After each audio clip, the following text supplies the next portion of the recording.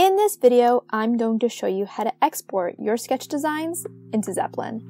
Let's get started.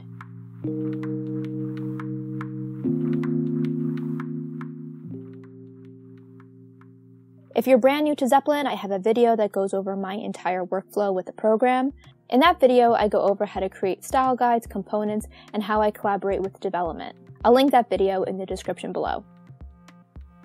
So currently I'm working on this voice recorder app design that I've already imported into Zeplin.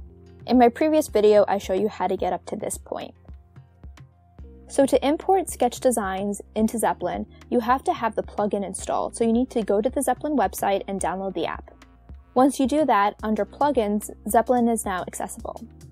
So I'm going to grab this login page because it is not currently in Zeplin, go to plugins, Zeplin, and then export selected. And once I do, a window pops asking me which project I want to add this artboard to, and I only have one project, so it's already selected, and I'm going to say export. When I do, the screen is automatically added into Zeplin, and if I click into it, I can now grab the elements of the design. One important thing to note is that when you do export artboards, it's important to actually make images also exportable back in Sketch. I have this background that I designed for the login page. Each line is its own individual element, which would be an extremely tedious process for the developers to create. So instead, if I hop back into Sketch, I want to make this background image exportable so the developers can just download it and then use it in the project. So I already have this entire element as a group called image slash background, and then each of the individual lines are accessible here. So I'm going to take this background, I'm going to go down here in Sketch where it says make exportable, I'm going to select it.